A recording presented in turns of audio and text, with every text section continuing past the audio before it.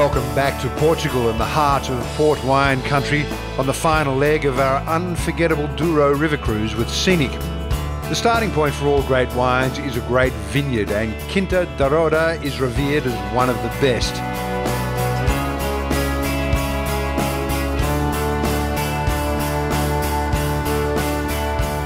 Home to some of the oldest vineyards in the Douro Valley, the estate is as beautiful as it is historic, and the finest of the port wines are produced right here. It's the best in the region? Uh, absolutely. The best port wine is the Croft port wine, Right, completely. right. And how long, have, so how long has Crofts been here? Croft started activity in 1588. 1588? Yes, the most holder in all the Douro Valley. This looks like a very rugged spot to grow vines. Yes, this is very old vines with 100 years, okay? Uh, traditional vines. And you can be the judge of that yourself. Our included visit with Scenic does, of course, come with complimentary tastings. Cheers. Good? That is lively and fruity, isn't it? Yes, completely. Yeah. This is a very intense and complex port wine. It's like a well-oiled hinge. and long flavor in your mouth, certainly. Good? That's a big-bodied, syrupy... Ah.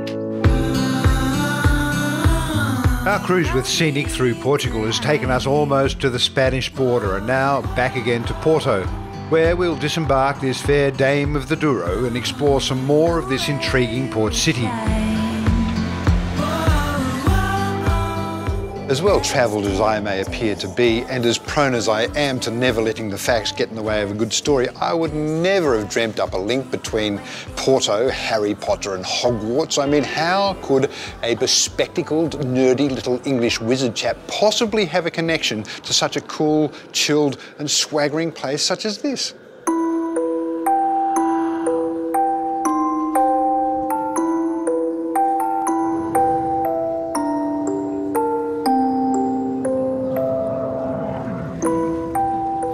In 1906, this bookstore was designed as a temple to books, as a temple to education.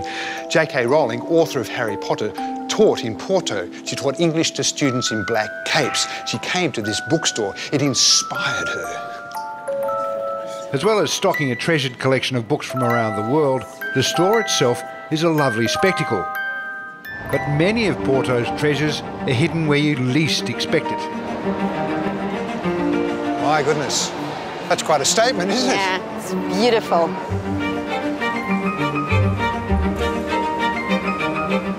And these are the traditional Portuguese tiles? It's a traditional call that we start to use in 18, but everything is traditional.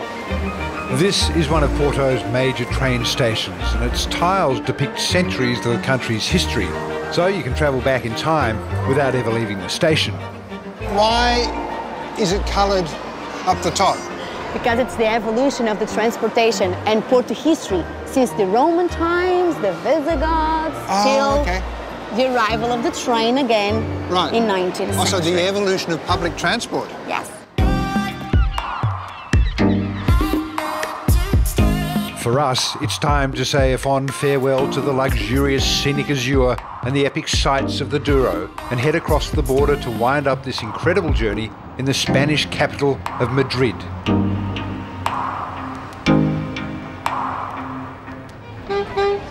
For a major metropolis, Madrid remains a very livable city. There are a lot of people outdoors. Do you have an outdoor lifestyle in Madrid? Yes, yes, absolutely. We spend uh, almost the weekends outside, no? Like in this park, for example. We like to enjoy the sun, have a drink. Yeah. Those madrileños sure do love their leisure time, and Retiro Park is one of their favourite places to indulge.